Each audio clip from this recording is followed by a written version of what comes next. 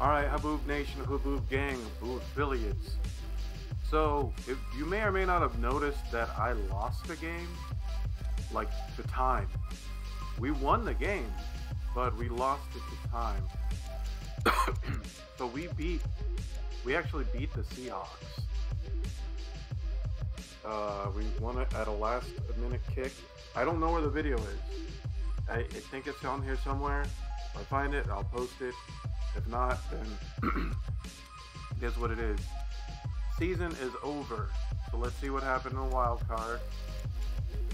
Packers lost to the Seahawks. Cool. Oh, oh my gosh. Look what happened to the Panthers. Next, Vikings go on to win. Ravens and Vikings. Chargers. Seahawks. So look at this. Seahawks Vikings. In overtime, Vikings win.